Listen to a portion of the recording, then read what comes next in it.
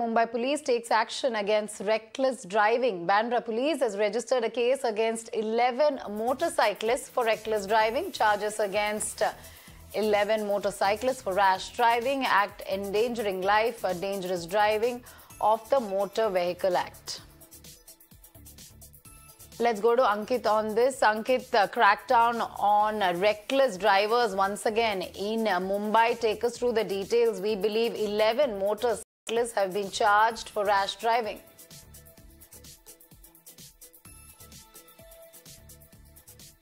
Uh, yes, that's absolutely right. Uh, the incident uh, took place on Sunday after, uh, afternoon where uh, there was a Nakabandi which was there in the Bandra MMRDA area. And that time when police observed that uh, some motorists were doing the dangerous driving on the road, immediately they took the action in this case. 11 people, against 11 people, the case has been registered.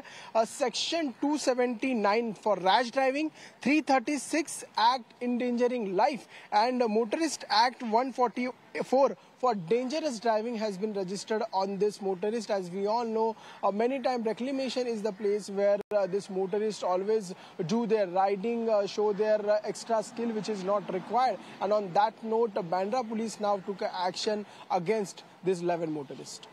All right did that. Uh, thank you, Ankit, for all those uh, details. So once again, crackdown on a reckless uh, motorcyclist, 11 of them charged by the Mumbai police.